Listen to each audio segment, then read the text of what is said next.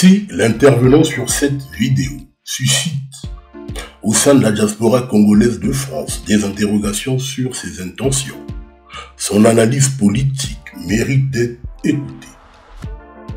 Connu pour ses critiques et ses apparitions aux côtés de ceux qui ont l'effectivité du pouvoir à Brazzaville, nous nous apaiserons sur son analyse critique de la dégradation de la situation socio-politico à l'intérieur du pays, mais aussi à l'extérieur, avec les accords secrets signés entre Denis Sassou Nguesso et Paul Kagame du Rwanda.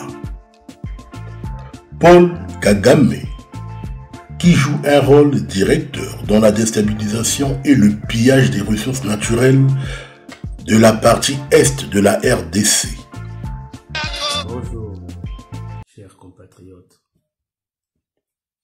Voilà, cette vidéo, c'est pour vous informer des dangers qui encourent dans notre pays. Chers compatriotes, euh, vous avez vu les dernières euh, nouvelles du Congo.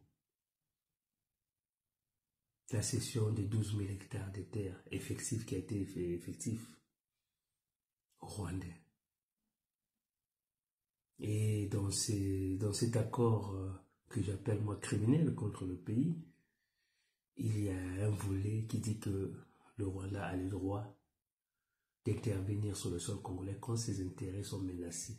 Donc les intérêts des Rwandais sont sur le territoire congolais. Ça fait longtemps que je suis Denis Christel Sassou Nguesso.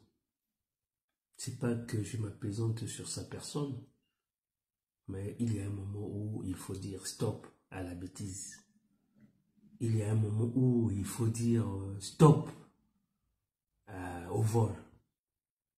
Denis Christel Sassou Nguesso, c'est la contrade qui a été fermée par les institutions financières internationales parce qu'il y avait beaucoup de détournements massifs.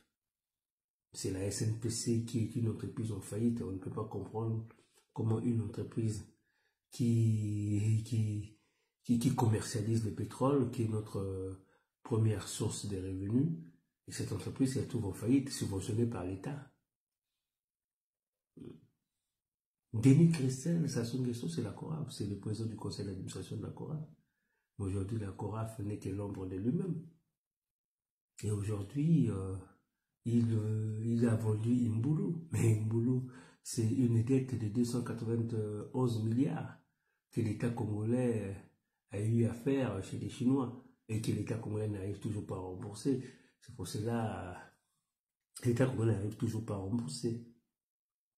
Malgré cette dette-là, Denis Christel va quand même se permettre de vendre les boulots, de les concéder aux étrangers. Vous vous rendez compte que ces gens de ces primitifs du PCT que j'appelle primitifs parce que je me dis qu'ils ne savent pas pourquoi ils sont là. En fait, ce n'est que des villageois à qui on a confié un pays, ils ne savent pas quoi faire d'un pays. Ils sont incapables, je dis bien incapables de diriger une petite centrale nucléaire et une petite centrale électrique des trois petites turbines. Donc s'ils sont incapables de, faire marcher ce genre de trucs, est-ce que ces gens-là seront capables de conduire un pays? Ils vendent tout, tout. Vous avez vu, ils avaient concédé euh, Maya Maya à ERCO. C'est quoi après le résultat? ERCO est en faillite. Et euh, le même ERCO, euh, à Maya Maya, nous avons des ventilos à la place des climatiseurs. Et Maya Maya aujourd'hui est devenu très sale les ascenseurs ne marchent pas et euh, les, les, les, toilettes sont dégradants. Il faut qu'on arrête euh, de, de, blaguer avec le pays. À Denis Sassou Nguesso et à tous ses enfants, à toute sa famille, qui croient que le Congo est devenu euh, leur propriété privée, qu'ils ont un titre foncier du Congo. Ils se permettent de tout. Vous avez vu à la SNPC, dernièrement, j'ai vu que la SNPC avait signé des contrats en Côte d'Ivoire. Et le contrat, on n'avait pas vu Ominga, qui est le directeur général de la SNPC, on avait vu Dédi Christel Sassou qui signait le contrat. Donc sachez-le que quand le pétrole du Congo est vendu à l'étranger, par, euh, par des, j'appelle ça des voyous, parce que euh, au niveau du pétrole congolais, rien n'est opaque. eh bien, il y a une redistribution qui s'est faite pour le président Sassou, une redistribution pour Denis Christel Sassou Nguesso, pour la famille, et le peu qui reste, bon, on cherche à donner aux Congolais pour pouvoir payer les salaires. Rien dans la construction du pays et dans le développement du pays. C'est cela, le pouvoir de Sassou Nguesso. Un pouvoir qui a mis les Congolais hors de leur destin. Hors de leur destin. Le Congo ne contrôle pas les Congolais ne contrôlent pas le destiné de leur pays. Leur pays est géré comme une épicerie familiale, paysanne, villageoise et mafieuse. Il faut que nous mettons un terme à ça. C'est pour cela euh, nous devons tous nous rassembler parce que l'heure n'est pas à, à rigoler, l'heure n'est pas à blaguer. Le pays est en danger. Demain, si nous ne faisons rien demain, nous allons rendre de compte. Même sous nos tombes, nous rendrons de compte aux générations futures. Ils diront, mais nous avons eu un pays. Qu'est-ce que nous avons fait de ce pays-là? Chers compatriotes, il est temps qu'on mette fin à cette ignominie mafieuse. Il est temps qu'on en termine. Il faut un sursaut républicain, un sursaut patriotique. Le Congo est une république et non pas un bien familial. Et aucun, je dis bien personne n'a le titre foncier du Congo. Et il doit se permettre de tout vendre sans référendum. Mais après, on se demande à quoi sert l'Assemblée nationale. À quoi sert le peuple? Vous ne pouvez pas vendre 12 000 hectares de terre sans référendum. Ça, si vous le faites, ça veut dire que vous êtes dans une mafia, qui est où? Il y a des gens qui décident de votre avenir. Voilà. Denis Christel Sassou Nguesso, il a vendu euh, la zone économique spéciale de Maluku. Il y a eu 131 milliards qui n'ont jamais été reversés au trésor public. 131 milliards pour sa poche. Donc, il vend pour sa poche pour avoir sa, sa, belle vie. Là où nous avons vu que le directeur, son ami Donald Fila, de X-Hall, X-Hall, a détourné 6 milliards, a fait couler cette, cette, cette entreprise. Hmm? Que lui-même, Denis Christel, avait conçu. Donc, s'il y a eu un détournement de 6 milliards, je sous-entends qu'il est aussi complice, puisque Donald Fila, c'est son bras droit. C'est quoi cette république des amis des voleurs? Le même Denis Christel avait installé le maire Kondo à Pointe-Noire. Kondo a volé plus de 4 milliards. Il est toujours en liberté.